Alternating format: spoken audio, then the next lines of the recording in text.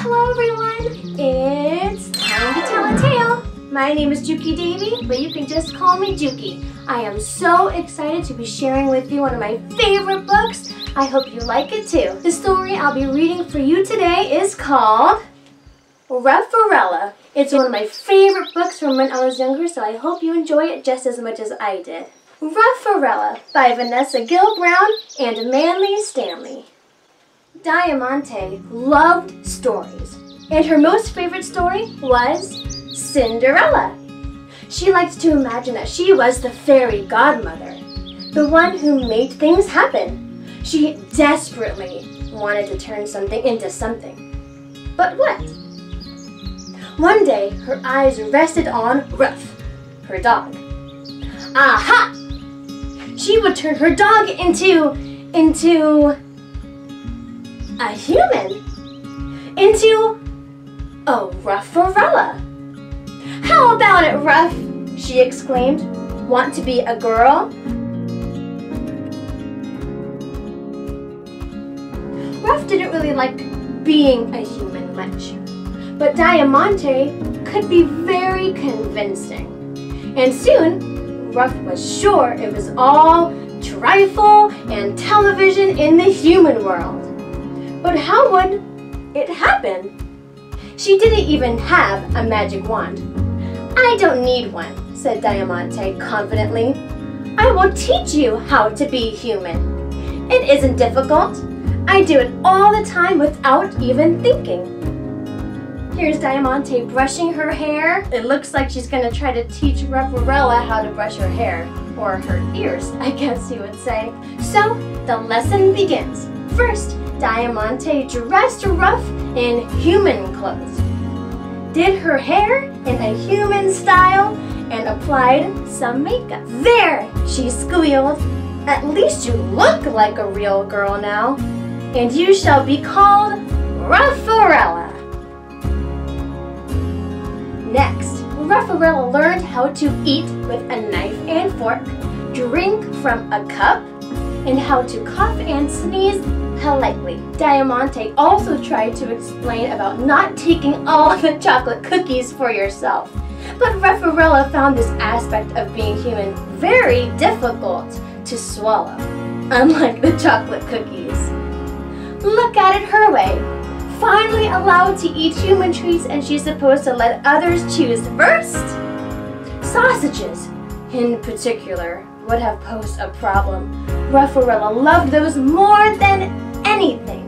Diamante decided to show her off at a friend's birthday party. You shall go to the ball, Rufferella. Penny's party, anyway. But you mustn't let anyone know you're really a dog. Rufferella was nervous. But she had no need to be. She danced, played games, drank soda, ate cake, and all without spilling a drop or a crumb. She even sang happy birthday to Penny. Oh look, here she is playing pin the tail on the donkey. oh, she's drinking soda down here. She's eating cake down here. To everyone's delight, she had the most beautiful, deep voice anyone at the party has ever heard. What a wonderful voice this girl has! She should be on television. After that, she was invited to sing at other people's parties, then in theaters where crowds came to hear the amazingly sweet, low voice of little Rufferella. And eventually, she did sing on TV. Diamante always went with her, but she couldn't help feeling a bit left out. There was no time for playing soccer or rolling around on the carpet like they used to. Still, it was fun being Rufferella's assistant. One day, among the usual heap of mail over Rufferella, a very special invitation came. Diamante opened it. It's from the Queen! She saw you on television and wants you as a guest to attend a ball at the palace. You really are, Rufferella. Splendid, said Rufferella.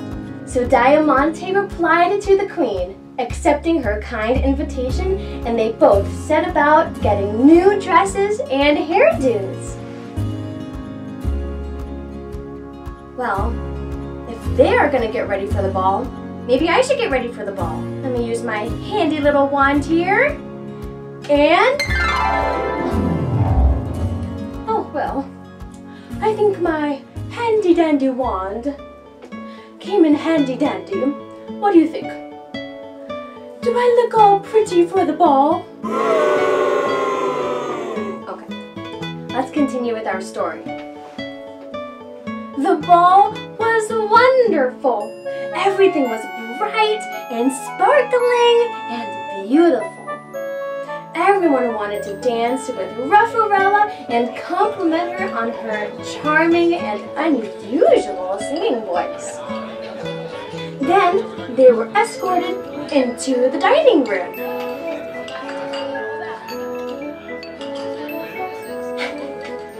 Let's turn the pages with my gloves.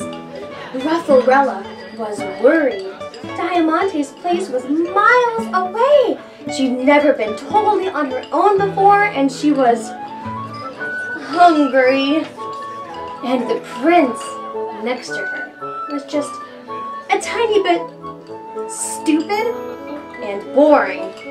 And the dress was just a little bit too tight. She wondered what was for dinner. She watched as the queen was served. It was sausages. Sausages! Rufferella took one look and leapt onto the table, bounding toward on the queen's plate and began wolfing the delicious, juicy sausages. Good heavens! She's a, a, a dog! Rufferella is a dog! No wonder she had such an unusual singing voice. Catch her! exclaimed the people. Then Rufferella took another flying leap, this time landing in Diamante's arms. Together they ran out of the palace and all the way home. Next morning, there was less mail than usual, but there was a package for Rufferella. She was feeling miserable and didn't want to look at it. So, Diamante opened it and took out something hard, wrapped in tissue. There was a note within, which read, Dear Rufferella, please do not worry about the unfortunate events at the ball. Sausages are hard to resist after all. A little piece of royal advice. One is often best off if one allows one to be oneself. By this I mean that while I make a reasonable job of being queen, I should make a pig's ear of being a pop star. Take care, dear Queen. Wow, I've never received a letter from the Queen before. Diamante unwrapped the item. It's a dog's bowl, she cried. Rufferella was so pleased that a tear came to her eye. Can I use it? she asked. If it's all the same to you, I think I'll give up being a human and my singing career. It's just not from me. Oh, good, replied Diamante. I've really missed having you as my pet. Ruff smiled and said, No more Rufferella. No more Rufferella, agreed Diamante. How about a trip to the park to play catch? Asked Diamante. Ruff yelped in agreement. And off they went. Everything was back to normal.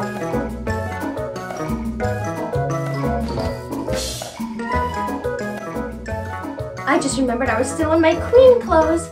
Just one second, let me change.